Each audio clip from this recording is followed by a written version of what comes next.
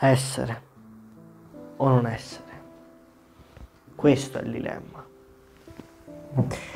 Se sia più nobile nella mente soffrire i colpi di fionda, i dardi dell'oltraggiosa fortuna, o prendere le armi contro un mare di affanni e contrastandoli porre il loro fine.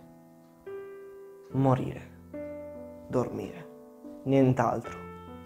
E con un sonno dire che poniamo fine al dolore del cuore e ai mille tumulti naturali di cui rede la carne. È una conclusione da desiderarsi devotamente.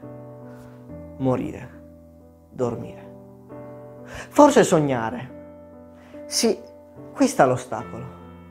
Perché in quel sonno di morte, quali sogni possono venire dopo che ci siamo cavati di dosso questo groviglio mortale? Deve farci riflettere. È questo lo scrupolo che dà alla sventura una vita così lunga.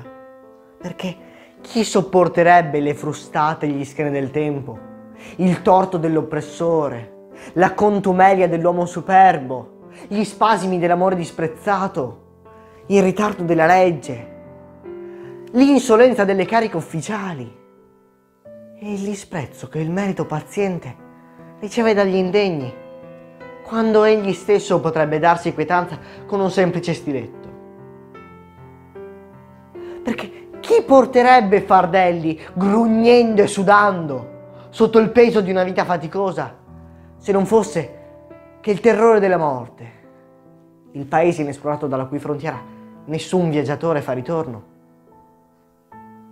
sconcerta la volontà e ci fa sopportare i mali che abbiamo piuttosto che a correre verso altri che ci sono ignoti.